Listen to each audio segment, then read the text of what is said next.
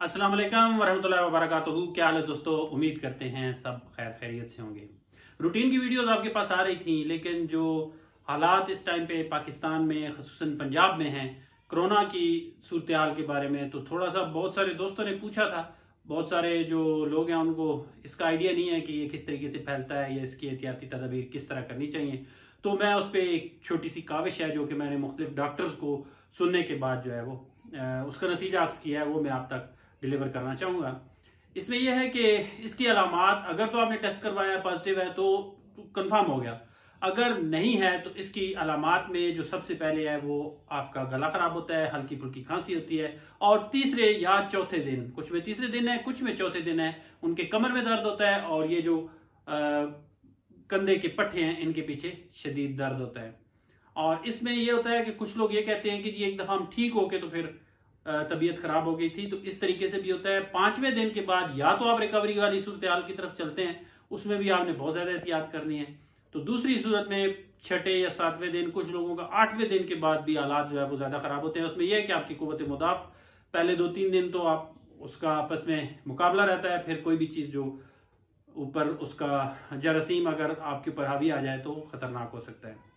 इसमें दो तीन चीज़ों का आपने ख्याल रखना है। एक तो यह है कि अगर आप घर में अलग से रूम अवेलेबल है, वहाँ हो सकते हैं तो आप कोशिश कीजिए अलग हो जाए ताकि बाकी घर वाले भी उससे बचें। और अगर वो नहीं है, आपने मिलकर ही रहना है, घर इतना बड़ा नहीं है तो उसमें आपने मास्क का इस्तेमाल करना है, घर वालों को भी, ने भी करना है, और पानी और जो बर्तन है, वो आपने अपने अलग से इस्तेमाल करने हैं।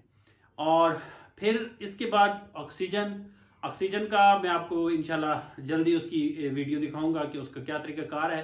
लेकिन उसकी एक एक्सरसाइज भी बताऊँगा जो मैंने कम अज कम भी नौ या दस डॉक्टर की जो रिसर्च है, उसके बाद उसका नतीजा किया है और वो मैं आपको एक एक्सरसाइज दिखाऊँगा। मशीन है जो उसका करने वाला है, वो भी आपको दिखाऊँगा। अगर आपके पास वो मशीन नहीं है, फिर भी मुख्तलिफ़ डॉक्टर हंड्रेड परसेंट उसका रिज़ल्ट नहीं है, लेकिन फिर भी अगर आपके पास वो मशीन ऑक्सीजन चेक करने की नहीं है तो फिर भी आप उसका एक टेस्ट कर सकते हैं, वो मैं आपको अगली वीडियो में जल्दी बताऊँगा। वीडियो बड़ी भी नहीं होगी, डेढ़ से दो मिनट की होगी। तो आपने सबसे ज़्यादा एहतियात ये करनी है कि अगर आप में अलामत हैं तो आपने अपने आप को अलग कर लेना है, ताकि आपकी वजह से कहीं और ना फैले। हमारे गाँव की इस टाइम पे जो हालात हैं, वो काफ़ी खराब है। तीन जो है, वो अमवात हो चुकी हैं। और एक और चीज़ जो सबसे ज़्यादा सबसे ज़्यादा ज़रूरी है, जो मैं बताना चाहता हूँ कि खुदा के लिए यार वैक्सीन लगवा लें। वैक्सीन लगवा लें, बहुत डेथ उन्हीं की हो रही है जिनकी वैक्सीन नहीं है। पाकिस्तान में भी 86 परसेंट जो हॉस्पिटल में लोग जा रहे हैं, उन्होंने वैक्सीन नहीं लगवाई हुई और बाकी एक डोज वाले जा रहे हैं। दो डोज वाला तो ज़ीरो परसेंट है कि उसमें कोई अमवात भी नहीं है तो खुदा के लिए वैक्सीन लगवाएँ, अपने आप को बचाएँ, दूसरों तक आप फैलाने का मौजब ना बने। मैं आपको एक्सरसाइज भी उसकी बताऊँगा कि अगर ऑक्सीजन कम हो रही है तो उसको आप किस तरीके से घर में किसी हद तक आप उसको लेके जा सकते हैं। 90 से नीचे अगर ऑक्सीजन आएगी तो वो अलार्मिंग है और 80 82 पे तो आके फिर आपको ऑक्सीजन लगानी पड़ जाती है। तो एहतियात करें, यहाँ मैं सिर्फ़ यही बताना चाहूँगा कि लोगों तक मत फैलाएँ, स्कूल भी बंद कर दिए गए हैं और इस टाइम पे हालात काफ़ी खराब हैं। अपने आप को बचाएँ, एहतियात करें, दूसरों तक फैलाने का मौजब ना बने। बहुत बहुत शुक्रिया और मैं आपको एहतियाती तदाबीर अगली वीडियो में इनशाला जल्द बताऊँगा।